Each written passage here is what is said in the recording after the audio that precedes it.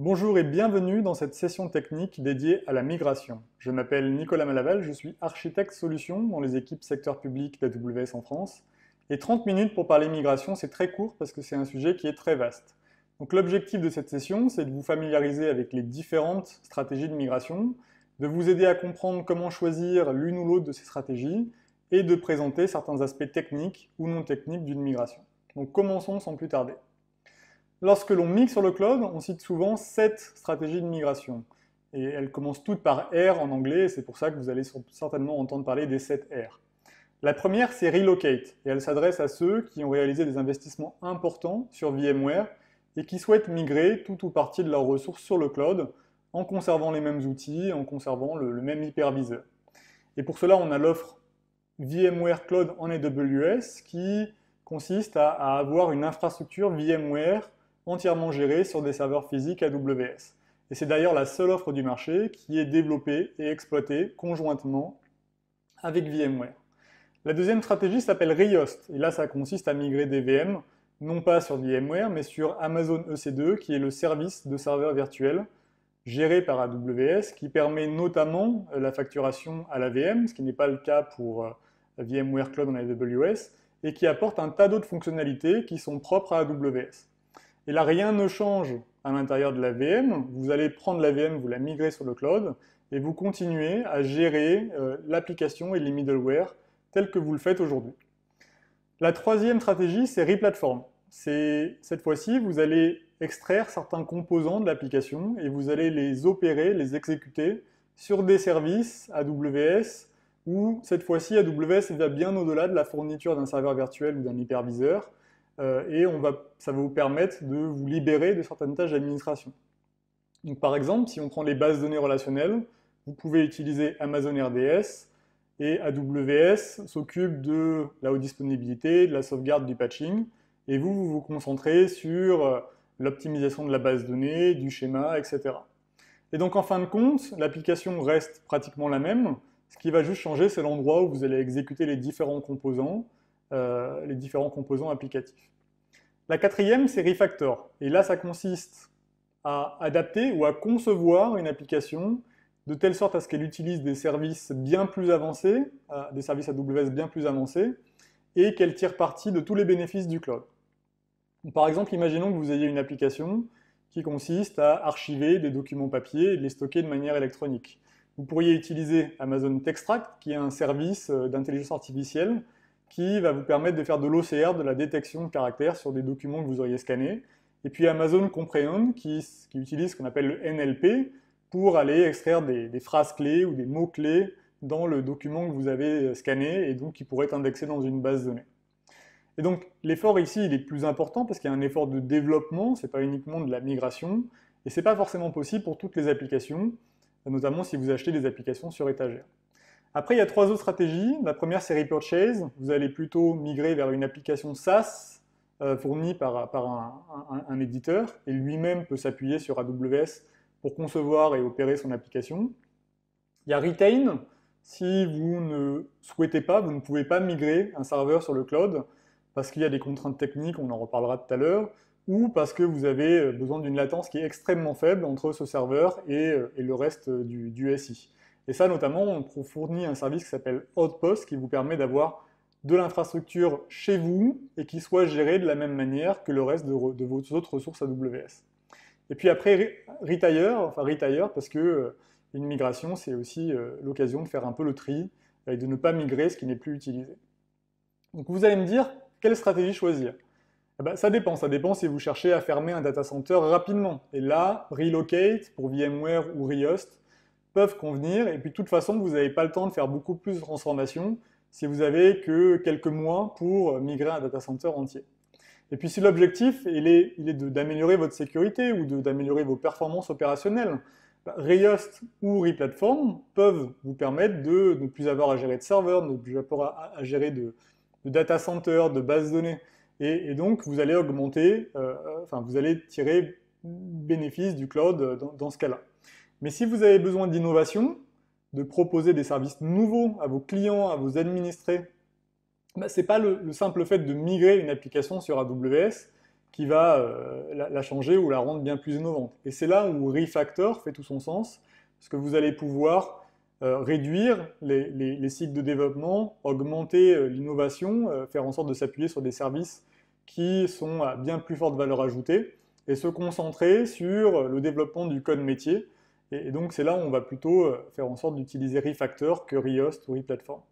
Donc il est bien, il est important de bien comprendre les enjeux à adresser à court terme et à plus long terme pour choisir là où, la bonne, enfin, là où les bonnes stratégies de migration quand, on migre vers le cloud. Et puis en fonction de la stratégie retenue, on va pas impliquer les mêmes équipes et on ne va pas augmenter la valeur euh, perçue par les, utilisateurs finaux de la même manière. Si vous faites une fermeture de data center au début, vous allez faire du rehost pour éliminer la dette technique. Bah, c'est d'abord l'équipe infrastructure qui va être impliquée, très légèrement les équipes de développement, et puis vos utilisateurs vont utiliser les mêmes applications, elles vont peut-être être plus fiables sur le cloud, mais c'est uniquement quand vous allez commencer à optimiser euh, les applications une fois sur le cloud que la valeur pour les utilisateurs va augmenter. Par contre, si vous développez une application dès le début pour le cloud, euh, ce qu'on appelle du cloud natif, là c'est la ligne orange, ben, la valeur perçue pour les utilisateurs va augmenter plus rapidement parce que vous allez tirer parti plus rapidement des bénéfices du cloud. Et puis, il est tout à fait possible de mixer les stratégies. Si vous avez une application de métier qui est très différenciante, ben, celle-ci, vous allez pouvoir la développer directement sur le cloud. Et puis après, si vous voulez fermer un data center, ben là, de suivre plutôt la ligne bleue, de faire du rehost, et puis euh, d'optimiser, d'améliorer les applications une fois que vous êtes déjà sur, AWS.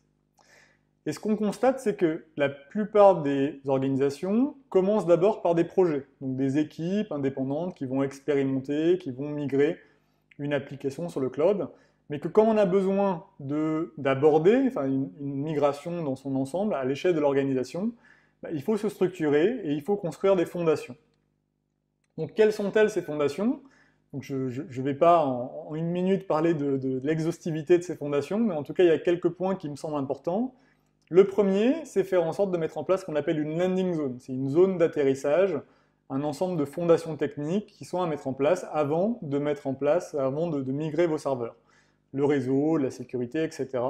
On en reparlera sur la slide suivante. Mais c'est un peu comme si vous alliez concevoir un data center virtuel, et sauf que là, vous allez le faire en quelques jours, en quelques semaines, alors que si vous aviez à concevoir un nouveau data center physique, bah, ça prendrait euh, beaucoup, beaucoup plus de temps. La deuxième chose, c'est bien beau de définir quelles sont ces fondations techniques, mais il faut aussi savoir qui c'est qui les opère, selon quelle procédure. Est-ce que ça va être géré en interne? Est-ce que ça va être externalisé par un infogérant? Et comment le service va être délivré aux utilisateurs, notamment euh, aux équipes de développement? Est-ce que vous continuez à, faire des tickets ou est-ce que les développeurs vont avoir plus la main sur le cloud pour avoir plus d'agilité euh, dans ce qu'ils vont faire? La troisième, c'est vous avez une landing zone, vous avez un modèle opérationnel, mais il faut aussi des gens pour supporter ce modèle opérationnel. Donc il faut former des gens au cloud, c'est des nouvelles compétences, c'est des nouvelles technologies, et on voit bien souvent aussi la mise en place de ce qu'on appelle un centre d'expertise cloud au début, pour faire en sorte que les sujets cloud ne soient pas dilués dans l'organisation, pour déciloter les différents sujets techniques et faire en sorte qu'il n'y ait qu'une seule équipe au début qui soit responsable des sujets cloud et qui va mettre en place cela, qui va pouvoir assurer euh, l'exploitation de la landing zone au début rapidement. Et eh bien cette équipe-là, elle n'est pas forcément euh, compétente sur le cloud au début. Il va falloir qu'elle se forme, qu'elle apprenne sur le temps. Et c'est pour ça que c'est également important de se faire accompagner par des, gens, par des partenaires euh, qui ont déjà de l'expertise sur le cloud de l'expérience, qui ont développé des outils. Et donc c'est mon quatrième point, faire en sorte d'aller chercher des gens qui ont de l'expérience. Et enfin, c'est encore plus valable dans le secteur public, parce qu'il peut y avoir des, certaines exigences euh, réglementaire ou de, conformité, c'est faire en sorte de recenser et de prendre en compte toutes ces exigences dès le début pour la mise en place de la landing zone, pour la, définition des procédures autour de tout ça. Ça peut être des exemples en termes de chiffrement de données, en termes de localisation de données, et donc bien comprendre quelles sont ces exigences de sécurité au moment où on va mettre en place ces fondations. Dans cette slide, je liste un ensemble de sujets techniques qui sont fréquemment abordés lorsque l'on parle landing zone. Et, les services associés, mais ce n'est pas exhaustif, parce que j'ai notamment eu la chance d'accompagner plusieurs organisations dans la mise en place d'une landing zone, et il y a autant de landing zones qu'il y a d'organisations, parce que chacun a ses propres besoins, ses propres exigences, son propre legacy, et donc il n'y a pas une seule landing zone, c'est pas possible. Le premier sujet, c'est de définir ce qu'on appelle la structure de compte AWS. Un compte AWS, c'est un conteneur de ressources qui permet d'isoler euh, des ressources AWS euh, de, manière forte les, uns, euh, les unes entre les autres. Et on peut avoir dans une organisation plusieurs comptes AWS, par exemple un compte par équipe de, développement, et des comptes qui sont dédiés aux équipes transverses. Et donc on va, on va définir sa structure de compte, et on va utiliser des services comme AWS Organisation et AWS Control Tower pour mettre en place cette structure et des politiques de sécurité qui s'appliquent à, l'organisation dans son ensemble. Après, il faut aussi définir euh, les identités et les permissions sur le cloud. Qui a le droit d'utiliser AWS Pour faire quoi? Euh, D'où viennent les identités? Est-ce que je les gère sur le cloud? Est-ce que je me connecte à un annuaire existant? Ensuite, il y a les aspects sécurité qui sont également importants. Et il faut bien comprendre que la sécurité sur le cloud, c'est une responsabilité qui est partagée entre AWS et ses clients. AWS gère la sécurité du cloud, donc grosso modo les couches basses, les data centers, euh, l'infrastructure de virtualisation, et des fois plus, ça va dépendre du service qui est utilisé. Et le client, lui, est responsable de mettre en place des, des architectures qui soient sécurisées et on met à disposition pour cela plus de 200 services et fonctionnalités sécurité pour l'aider. Par exemple, le chiffrement au repos, un service s'appelle KMS et c'est uniquement une case à cocher pour aller faire en sorte de chiffrer tous les volumes des, VM euh, au, repos euh, sur AWS. Et donc, il y, a, faire en sorte de bien comprendre quelles sont les exigences, quels sont les outils à migrer sur le cloud, et également quels sont les nouveaux services à activer, à configurer sur le cloud. Parce qu'il y a des services qui sont différenciants et qui n'existent que sur le cloud. Si je prends par exemple Amazon Duty, c'est un service qui s'appuie sur les logs, les logs d'accès AWS, les logs réseau, pour essayer d'identifier des menaces et de, vous en informer. Et donc ces services-là, il faut les activer et il faut configurer un certain nombre de contrôles selon vos exigences de sécurité à vous.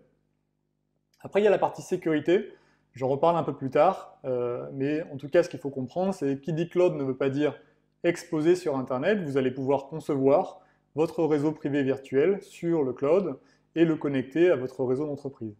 Et puis enfin, il y a un certain nombre de services qui vont vous permettre de gérer plus facilement vos opérations de sauvegarde, de patching, d'accès aux serveurs euh, pour faire de l'inventaire, etc., de monitoring. Et puis, il y a des services pour euh, gérer ce qu'on appelle le FinOps, donc la gestion financière du cloud, pouvoir comprendre les coûts, les, observer et puis les optimiser au fur et à mesure. Et ça, ça fait partie euh, en général des, services à mettre en place dans une landing zone. Faisons maintenant un zoom sur la, stratégie RIOS, le lift and shift. Et j'entends souvent de la part de mes clients, oui, mais moi j'ai telle ou telle spécificité, comment je vais faire sur le cloud?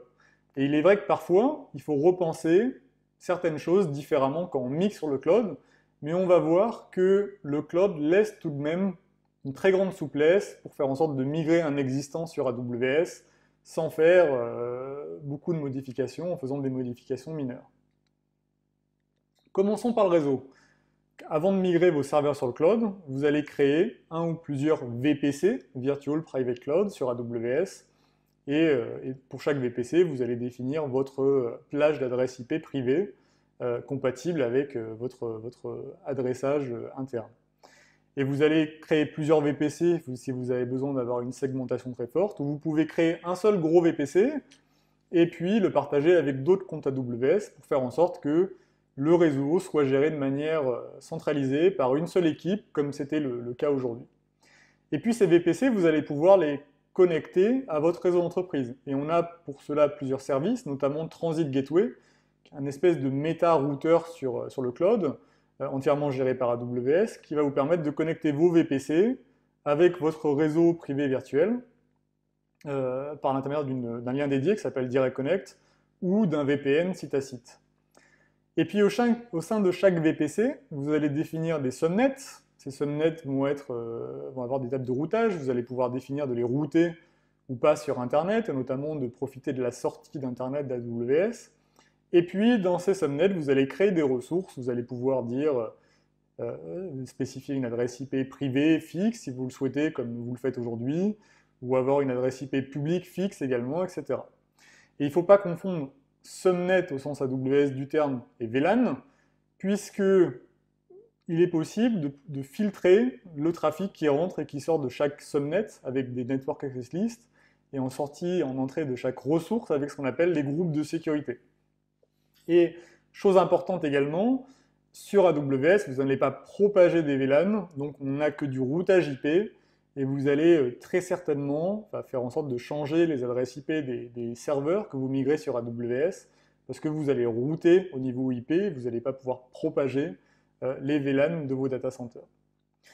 Et puis, une fois que vous avez des ressources, vous allez euh, également, enfin, vous allez certainement vouloir bénéficier de, fonctionnalités réseau, comme du load balancing, comme du, firewall applicatif euh, web, etc. Et pour ça, on a un ensemble de services qui vous sont proposés. Par exemple, Application Balancer, qui est un répartiteur de charge qui opère au niveau HTTP, HTTPS, entièrement géré par AWS. Et puis si vous avez besoin de faire euh, du, firewall, du, firewalling applicatif, vous pouvez utiliser AWS WAF, qui est là également entièrement géré par AWS. Mais vous allez me dire, moi, j'ai l'habitude d'utiliser des appliances de fournisseurs tierces comme Fortinet, Palo Alto, pour faire du SD-WAN, pour faire du VPN SSL, pour faire du filtrage applicatif. Et comment je fais sur AWS si je n'ai pas envie d'utiliser des services AWS ou si je ne retrouve pas les fonctionnalités dont j'ai besoin? Et il est tout à fait possible d'utiliser ces mêmes appliances sur AWS sous forme virtuelle. Et là, grâce au, Gateway Load Balancer, qui est un genre de répartiteur de charge pour, pour appliance virtuelle, ou au Transit Gateway, qui vous permet de définir des, routages de flux très fins avec les différentes tables de routage du Transit Gateway. Vous allez pouvoir faire du, du, du, load balancing avec ces appliances, du filtrage de flux entrant, sortant, inter-VPC, pouvoir connecter des appliances SD-WAN, etc. Et donc, oui, effectivement, il y a certaines adaptations à prévoir quand on mixe sur AWS, comme par exemple un changement, un changement d'adresse IP, mais vous allez pouvoir quand même conserver euh, les technologies et la manière de faire euh, que, vous avez euh, dans votre data center traditionnel sur AWS pour faire en sorte que les changements soient les plus progressifs possibles. Parlons maintenant serveur, stockage, sauvegarde et beaucoup d'entre vous ont déjà virtualisé leur serveur. Pour d'autres, il reste une part importante de savoir physique. Et donc, la question, c'est que vont devenir ces serveurs sur le cloud? Ben, Il y a très peu de cas où on ne peut pas migrer sur le cloud. Alors oui, on ne va pas pouvoir migrer de l'AX, on ne va pas pouvoir migrer du Windows 2000 parce que c'est plus du tout supporté, mais pour la plupart des operating systems, pour la plupart des autres cas, on peut migrer sur un serveur virtuel qui tourne sur AWS. Et on a des performances qui sont proches, ce qu'on appelle du bare metal, grâce à l'hyperviseur Nitro, c'est notre propre hyperviseur, où on a fait en sorte de déporter la plupart des fonctionnalités de l'hyperviseur sur des composants physiques. Et donc on a des performances proches du bare metal, tout en ayant des fonctionnalités de sécurité avancées, comme par exemple du chiffrement au repos, qui est, euh, euh, se, fait, enfin les données sont chiffrées en transit directement par l'hyperviseur. Et pour migrer sur AWS, un serveur, donc vous allez devoir choisir ce qu'on appelle un gabarit, un type d'instance.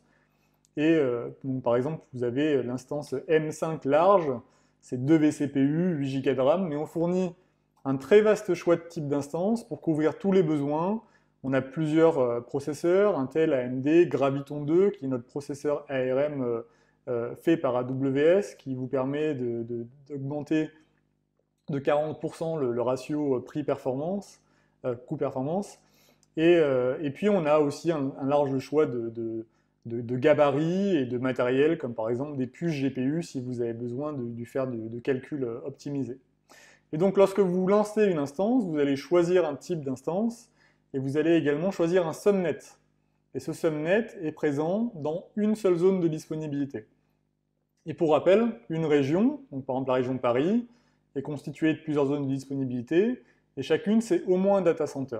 Donc votre instance tourne à un instant, donné dans un data center, sur un serveur physique. Euh, dans tous les cas, c'est comme ça que ça marche avec la virtualisation. Euh, et puis, pour le stockage, si vous avez besoin de stockage persistant, vous allez pouvoir connecter cette instance EC2 avec ce qu'on appelle des volumes EBS. Et ces volumes EBS tournent également sur cette zone de disponibilité. Donc vous allez me dire, oui, mais aujourd'hui, j'ai un disaster recovery, j'ai un data center primaire, un data center secondaire. Comment je fais sur le cloud si mes serveurs tournent sur une seule zone de disponibilité? Déjà, ce qu'il faut comprendre, c'est que le fait d'utiliser AWS vous donne le droit d'utiliser toutes ces zones de disponibilité. Elles sont déjà connectées entre elles avec des, liens à très haut débit et à faible latence. Et vous n'allez pas payer plus cher si vous voulez avoir euh, une zone de disponibilité de secours ou avoir un data center en actif-actif. Donc ça, c'est quand même un différenciant du cloud. Ensuite, comment faire son disaster recovery? La première solution, c'est faire en sorte d'avoir des snapshots EBS, donc de ces volumes EBS qui, eux, sont euh, répliqués dans toutes les zones de disponibilité de la région. Après, peut-être que vous avez besoin d'avoir une réplication qui est plus fréquente que de repartir du dernier snapshot si vous avez besoin de relancer votre serveur sur une autre zone de disponibilité. Et donc là, on a plusieurs mécanismes. Vous pouvez faire de l'actif-actif si votre application le permet. Vous allez pouvoir faire de la réplication de données au niveau du serveur. Euh, donc euh, faire une réplication par exemple du log shipping pour des bases données vers un autre serveur qui, est exécuté dans une autre zone de disponibilité. Et puis on a également un produit qui s'appelle Cloud Endured Disaster Recovery qui vous permet de répliquer des blocs dans une autre région et de pouvoir repartir du volume de, cette autre zone de disponibilité en cas de défaillance de, la première zone de disponibilité. Donc on a plusieurs mécanismes qui sont euh, proposés, qui diffèrent peut-être légèrement de la manière dont vous faites du disaster recovery en interne, mais en tout cas, on peut tout à fait faire du disaster recovery sur AWS euh, pour toutes vos applications et, euh, s'appuyer sur l'infrastructure hautement résiliente d'AWS.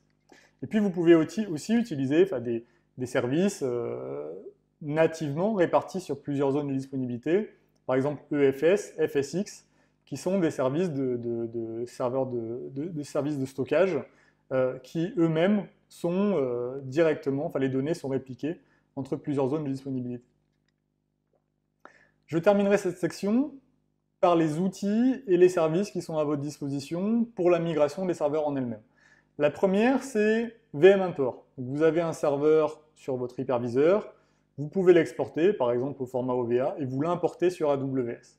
C'est forcément une étape qui, nécessite euh, un, moment de downtime, et vous allez pouvoir euh, utiliser notamment euh, Amazon Snowball si vous avez beaucoup de données à transférer, avec des liens réseau qui sont, qui sont petits, donc faire en sorte de transférer le, la, la première, le premier transfert de données par une, valise de stockage qui elle est déconnectée et que vous allez pouvoir envoyer à AWS. Le deuxième service, c'est Server Migration Service. Donc, s'appuie sur VM Import, mais qui vous permet d'automatiser la migration de VM euh, à, grande échelle sur votre hyperviseur. Donc, vous installez un connecteur, par exemple VMware, et vous allez pouvoir définir quels sont les VM qui sont synchronisés. Et là, le connecteur va envoyer à chaque fois les blocs qui changent à AWS. Et à un instant donné, vous allez pouvoir définir, de reconstruire la VM sur AWS et de lancer une instance EC2 à partir de, des blocs qui ont été reconstruits et transférés au niveau de l'hyperviseur. Donc VM import et SMS fonctionnent au niveau de l'hyperviseur. On a également Cloud Endure Migration, qui lui s'appuie sur un agent qui est issu d'un rachat de Cloud Endure, qui vous permet de migrer cette fois-ci les blocs qui changent, les blocs de disque qui changent au niveau de cet agent, et de les transférer de manière synchrone vers un volume EBS qui, qui attend côté AWS. Et donc quand vous avez besoin de faire une bascule, elle va être encore plus, court que les deux, euh, plus courte que les deux solutions précédentes. Et quand vous faites la bascule, AWS Cloud Endure va provisionner une instance EC2 et rattacher le volume EBS pour pouvoir la lancer sur AWS. Donc voilà, on a un certain nombre d'outils en tout cas qui sont à votre disposition pour faire cette migration lift and shift. Et puis le lift and shift, pour certains, c'est une étape qui est indispensable, notamment quand on veut euh, fermer un data center. Euh, et puis c'est une étape aussi légitime pour ceux qui veulent se familiariser vers le cloud et y aller progressivement. Mais en général, on ne s'arrête pas au lift and shift parce que euh, ça apporte certains bénéfices, sans conteste, hein, de sécurité, d'améliorer les opérations. Mais si on veut tirer parti de tous les bénéfices du cloud, eh il faut aller plus loin. Et qu'est-ce qu'on peut faire d'autre? Le premier, c'est redimensionner les instances au plus juste. On a vu qu'il faut choisir un gabarit quand on mixe sur le cloud. Autant faire en sorte d'avoir le gabarit le plus proche possible des besoins de la VM pour optimiser ses coûts. Et donc ça fait partie, c'est une première, une première action d'optimisation. Et puis une fois que vous avez optimisé, qu'il y a des instances qui tournent en permanence, par exemple les instances de production, bah, vous allez pouvoir acheter des savings plans ou des instances réservées et faire en sorte d'optimiser encore les coûts en s'engageant pour une période d'un an ou trois ans. Et puis il y a des serveurs qui sont peut-être euh, jamais utilisés ou peu fréquemment utilisés, donc pourquoi pas les éteindre quand ils ne sont pas utilisés et ne payer cette fois-ci que quand ils sont allumés, donc avec une facturation à l'heure. Et, pour cela, peut-être que vos équipes de développement ont tout intérêt à avoir accès à la console AWS, qu'elle n'est pas un ticket à faire à, à vos équipes d'infrastructure, et donc faire en sorte de permettre à vos équipes applicatives de gérer elles-mêmes leurs ressources sur AWS. Et puis enfin, une, dernière, euh, une autre, une autre euh, optimisation, c'est utiliser EC2 Autoscaling pour adapter le nombre d'instances à la charge et faire en sorte de réduire par exemple le nombre de serveurs le week-end s'il y a moins d'utilisateurs. Et puis après, bien sûr, c'est migrer vers des services gérés par AWS. On a déjà parlé des bases données, donc faire en sorte de migrer des bases données relationnelles vers RDS, mais il y a le cas pour plein d'autres services, ce soit pour du stockage, que ce soit pour des fils de messages. Et si je prends par exemple le cas de, l'analytics avec Hadoop, vous pouvez très bien migrer Hadoop sur EC2, utiliser Amazon EMR qui est de la Hadoop managée par AWS, ou d'aller encore plus loin et d'utiliser par exemple Athena, qui est un service qui vous permet de faire des requêtes SQL sur de la donnée stockée dans Amazon S3. Et donc ça, forcément, c'est un service qui est encore plus managé, qui va impliquer quand même l'équipe de développement, parce qu'il euh, y a un changement applicatif à faire pour utiliser Athena.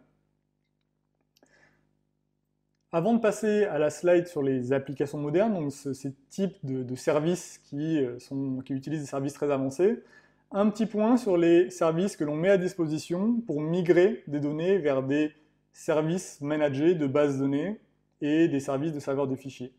On a Database Migration Service qui vous permet là de, pouvoir euh, synchroniser des bases données on-prem euh, vers Amazon RDS notamment, donc de, synchroniser à un moment de faire un cutover et de dire euh, je, passe ma production sur, AWS. Et puis si vous voulez changer de moteur de base de données, par de passer d'Oracle à Postgre, on a également euh, Schema Conversion Tool qui apporte, qui vous permet de faire ces changements de schéma avant de synchroniser les données. Et puis pour la, migration des données en elles-mêmes, on a plusieurs services, DataSync qui vous permet de migrer des serveurs de fichiers on-prem vers AWS, ou Storage Gateway qui vous apporte une, appliance physique ou virtuelle chez vous et qui fait le lien euh, vers AWS pour répliquer des données qui seraient accessibles localement sur cette appliance. J'ai parlé d'applications modernes tout à l'heure. Euh, qu'est-ce que c'est qu'une application moderne? Et on voit aujourd'hui que les applications qui sont différenciantes, qui sont vitales pour le business, de plus en plus de clients font en sorte de les développer et, de suivre ce pattern. Une application moderne, c'est une application qui utilise des services dit serverless, c'est-à-dire qui sont scalables sans modifier l'architecture, que j'ai 10 utilisateurs ou un million d'utilisateurs, c'est la même architecture et je suis facturé à l'usage. C'est des applications qui sont développées sous forme de microservices. Donc on va avoir des microservices qui interagissent entre eux de manière synchrone ou asynchrone, mais c'est beaucoup plus facile d'aller mettre à jour un microservice que de mettre à jour une application monolithique euh, où, le, développement, le déploiement là va être plus compliqué. Et puis après, c'est des applications où les équipes de développement vont utiliser des services qui répondent à un besoin. que ce soit des services euh, d'intelligence artificielle, des services de base de données, des services de, gestion de la donnée, etc. Et donc de composer entre ces différents services et de se concentrer sur le code métier et d'avoir le moins d'opérations possible. Donc on a une approche qui est plutôt no-ops, l'équipe infrastructure a un rôle qui change parce qu'on va avoir une gestion qui est complètement décentralisée. Un exemple d'application moderne, moi mon secteur c'est plutôt la partie santé, on peut avoir des dispositifs médicaux qui vont servir à, euh, à, alimenter des informations pour des essais cliniques. Et donc là, typiquement, on a des dispositifs médicaux qui remontent des informations sur une plateforme IoT Core où je paye en fonction du message, des messages reçus, et je n'ai pas besoin de me soucier de la scalabilité de ma plateforme.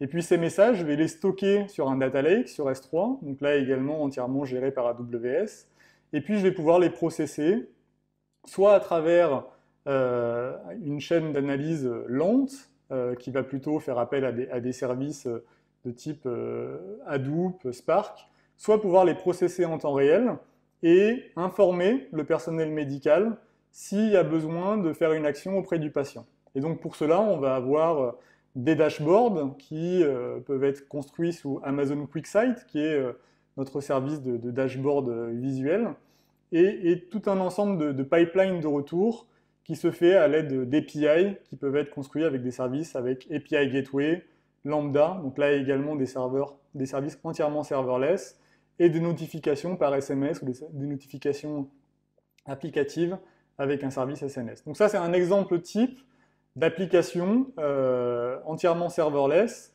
et que, l'on va pouvoir concevoir une fois pour toutes et qui va euh, s'adapter quelle que soit la charge, quelle que soit euh, la sollicitation sur l'application. Donc nous approchons de la fin de la session. à retenir quelques points que je, que je voulais partager avec vous. Déjà, faire en sorte de bien comprendre qu'une très vaste majorité des workloads peuvent être migrés sur AWS. Alors bien sûr, on ne va pas pouvoir migrer de l'AX, on ne va pas pouvoir migrer du Windows Server 2000, mais il y, a, très peu de contraintes à migrer sur AWS. Euh, et puis, il va falloir faire en sorte de choisir la bonne stratégie. Si vous voulez aller très vite pour faire un data center, Riost est plus adapté. Si vous voulez faire de l'innovation, il ne suffit pas de migrer un serveur sur AWS. Il va falloir adapter l'application, utiliser des services à valeur ajoutée et, faire en sorte de la, développer de manière différente. Si on veut aller vite et si on veut faire en sorte de réussir sa migration, il faut avoir bâti des fondations à la fois techniques mais également non, techniques, avoir les bonnes équipes, avoir les bonnes compétences, être bien accompagné. Et le lift and shift est une première étape, peut-être une première étape, mais en général, c'est qu'une étape. On va avoir tendance à aller plus loin pour optimiser ses coûts, pour euh, innover plus vite, pour tirer parti vraiment des bénéfices du cloud.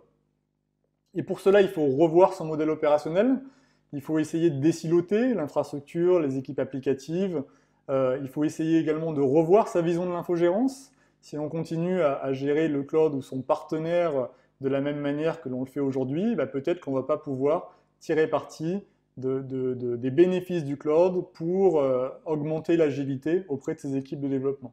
Et ça, c'est la migration sur le cloud, ça peut être une migration quand on fait du Riost, mais après, c'est vraiment une transformation euh, de l'organisation, des processus, pour, euh, encore une fois, tirer parti des bénéfices du cloud et faire en sorte que toute l'organisation puisse euh, innover plus rapidement, puisse développer des nouveaux services. Et, il ne faut pas voir AWS que comme un énième endroit où on va aller stocker des serveurs, mais vraiment comme un acteur qui va vous permettre euh, d'innover et d'accélérer. Je vous remercie, j'espère que cette session euh, vous a été utile. N'hésitez pas à, aller voir euh, des sessions qui rentrent plus en détail sur les aspects techniques, d'autres conférences comme par exemple Reinvent, ou de solliciter votre équipe commerciale pour pouvoir étudier votre propre cas à vous de migration sur AWS. Merci.